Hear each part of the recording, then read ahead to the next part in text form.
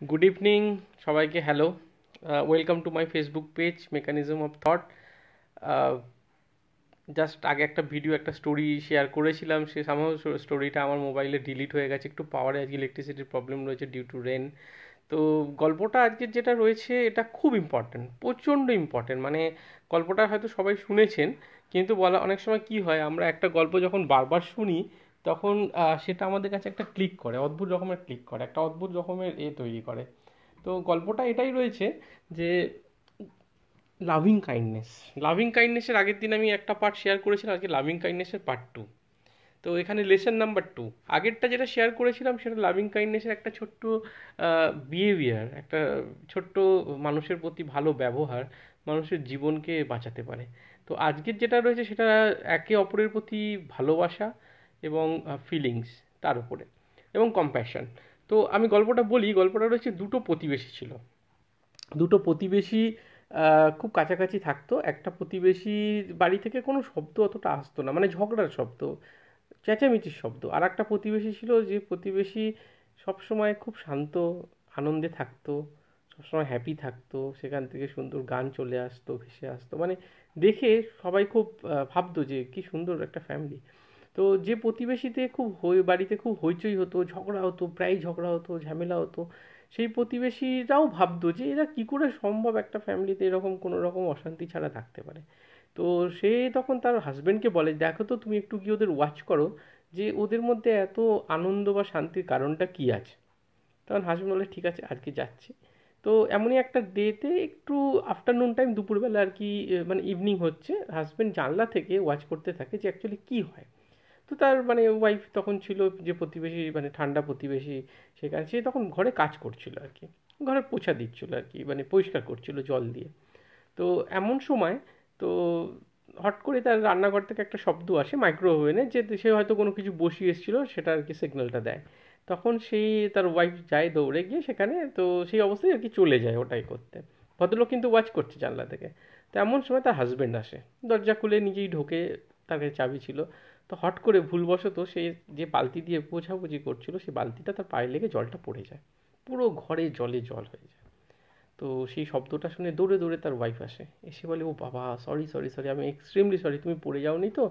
জলে কোনো রকম যে আমার খুব ভুল হয়ে গেছে, আমি তোমার এখানে বালতিটা রেখে দিয়ে যাওয়াটা উচিত হয়নি। আর হাজব্যান্ড তখন বলে, না না, আমার একদম সরি এক্সট্রিমলি সরি আমি যখন ঢুকেছি, আমারই উচিত ছিল যে সাবধানে ঢোকাটা। তোমার কাজটা আমি কতটা বাড়িয়ে দিলাম। দেখো, আমি তোমাকে যদি একটু হেল্প করি, আমি চেঞ্জ করে আসি, আমরা দুজন মিলে বরং এই কাজটা কমপ্লিট করে নেব। তখন ভদ্রলোক বাইরে থেকে যে ওয়াচ করছিল, সে দেখছিল যে একে অপরের প্রতি যে মানে সে ভেবেছিল বিশাল একটা অশান্তি হবে। মানে তার বাড়িতে যদি হতো বিরাট ঝামেলা হতো, বিরাট ঝগড়া হতো, একে অপরকে প্রচুর ব্লেম করতো যে, কেন তুমি ওখানে বালতি রেখে গেছিলে? আর বলতে কেন তুমি চোখে দেখতে পাও না, ভালো করে করলে এইরকম ধরনের। কিন্তু সেটার উল্টোটা হলো। মানে তাদের একে অপরের প্রতি এত সুন্দর ভালোবাসা, এত ফিলিংসটা রয়েছে যে এটাই হওয়া উচিত। তো এবার কি হলো? তখন সে তার বাড়ি ফিরে যায়। তখন তার ওয়াইফ তাকে জিজ্ঞাসা করে যে, বাড়িতে অশান্তি হয়? যে, তুমি কি দেখে এসছো? সে চুপচাপ থাকে। তো শুয়ে পড়ে।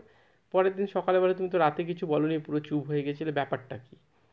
বলছে, দেখো, আমরা ওরা সেলফিশ না, আমরা সেলফিশ এটাই শুধু ডিফারেন্স বলে হ্যাঁ সে কি বলছো? বলে হ্যাঁ।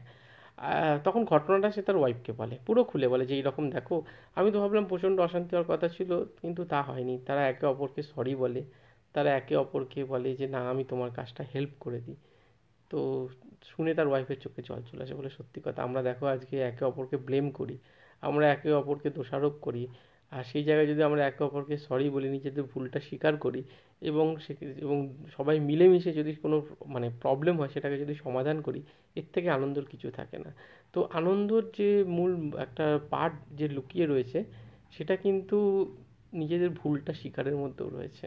যে আমরা যে ভুলটা স্বীকার করে নিই, যে এটা ভুল হয়ে গেছে সরি সরি আমি বলো আমি তোমাকে কী হেল্প করতে পারি, এটার মধ্যে একটা অসাধারণ একটা শান্তি এবং ভালোবাসার একটা অদ্ভুত রকমের রয়েছে। তো আমার গল্পর মরালটা এটাই যে the act of loving kindness আমাদের ইচ অ্যান্ড এভরিবডি অফিস হতে পারে স্কুল হতে পারে কলেজ হতে পারে, বাড়ি হতে পারে। আমরা যখন কোনো ছোটোখাটো কোনো ভুল করি, আমরা যদি অন্য কাউকে ব্লেম বা দোষারোপ না করে, আমরা যদি সেটাকে অ্যাকনলেজ করি যে না, আমার এটা ভুল হয়েছে, আমি যদি রেকটিফাই করি, তাহলে আমরা কিন্তু অনেক ধাপ এগিয়ে যাব অ্যাজ এ গুড হিউম্যান বিংয়ের দিকে। সেকেন্ড এটা এক। দুই নম্বর হচ্ছে লেসন যে আমরা অনেক সময় পড়াশোনা যখন করি, তো আমাদের পড়াশোনা করতে করতে বা খেলতে খেলতে আমরা হয়তো মিস্টেক করি, যেটা আমাদের চোখের মধ্যে একটা পর্দা থাকে, একটা ইগোর পর্দা থাকে, একটা যে আমি সব জানি তার পর্দা থাকে। আবার এমন একটা পর্দা থাকে না, দরকার নেই। তো এই পর্দাটা এমনই একটা জায়গায় থাকে যেটা আমাদেরকে আরও বেটার হওয়া বেটার আরও বেটারের বেটার হওয়ার থেকে আটকায়।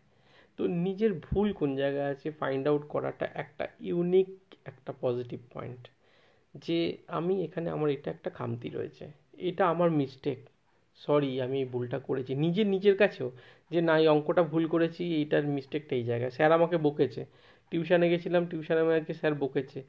আমি এটা পারিনি বলেই বকেছে, আমাকে এটা ঠিক করতে হবে। বা আমি খেলতে গেছি টুর্নামেন্টে একটা শট আমি করেছি, সেই শটটা আমার ভুল হয়েছে।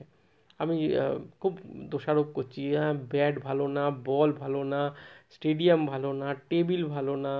আমি যে পিচে খেলা হচ্ছে, ঘাস উঁচু, যেখানে ফুটবল খেলছি, বৃষ্টির জল ছিল বুট ভালো না, এসব কিন্তু সব এক্সকিউজ আমাদের নিজেদেরকে পারফেক্ট হতে হবে। তো এইগুলো কিছুই না নাথিং এগুলো just only one percent ninety nine percent হচ্ছে আমাদের নিজেদের রেকটিফিকেশান তো অ্যাকনলেজ করা যে হ্যাঁ ভুলটা আমার, আমাকে রেকটিফাই করতে হবে। তো কেরিয়ার বলুন রিলেশনশিপ বলুন যে কোনো ফ্যামিলি অফিসের অ্যাটমসফিয়ার বলুন বাড়ির অ্যাটমসফিয়ার বলুন সব কিছু নির্ভর করছে যে আমরা কখন আমাদের নিজেদের ভুলটাকে স্বীকার করছি এবং কত পারফেক্ট টু পারফেক্টের দিকে এগিয়ে যাচ্ছি ইচ অ্যান্ড এভরি ডে তো this is most important for every student every sports person that যে that we have to acknowledge our mistakes and we have to rectify our mistakes তো আমাদের যে ভুলটা আছে, সেই ভুলটাকে অ্যাকনলেজ করতে হবে ফাইন্ড আউট করতে হবে কোথায় ভুল আছে সার্চ করতে হবে স্ক্রুটনি করতে হবে যে এই জায়গাটা আমাদের মিস্টেক আছে। এবং সেই মিস্টেকটাকে যখন রেকটিফাই করব, তখন কিন্তু আমি এক এগোবো। আর নইলে আমি যেখানে দাঁড়িয়ে আছি, সেখানেই থাকব, এগোতে পারব না। তো আমাকে এগোতে গেলে first I have to find out যে আমার মিস্টেক কোথায় রয়েছে। এবং আমি অন্য কোনো জিনিসকে দোষারোপ করব না। আজকে কোনো একটা বল যদি উল্টো পাল্টা আসে, না, ওই বলটাকেই আমি খেলব, আমার হয়তো টেকনিক্যাল কোনো ফল্ট হয়েছে। হয়তো মেবি বলটা কি ফল্ট হতে পারে, কিন্তু আমি টেকনিক্যালি যদি পারফেক্ট হই, আমি সমস্ত দিকে আরও মাছ মাছ মাছ বেটার জায়গায় চলে যাব। তো খুব ইম্পর্টেন্ট পড়াশোনার দিক দিয়ে শুরু করে, কোনো অফিসের কোনো অ্যাটমসফিয়ারের দিক দিয়ে শুরু করে, সমস্ত কিছু দিক দিয়ে। তো খুব ইম্পর্টেন্ট তো আশা করি গল্পটা ভালো লাগল। যদি ভালো লাগে রিপ্লাই দেবেন। আজকে একটু পাওয়ার ইলেকট্রিসিটির প্রবলেম আছে বলে আমি ব্যাকআপ পাওয়ারে আর কি এটা করলাম লাইভটা কারণ ইন্টারনেট অ্যাভেলেবেল ছিল না। তো থ্যাংক ইউ সো মাচ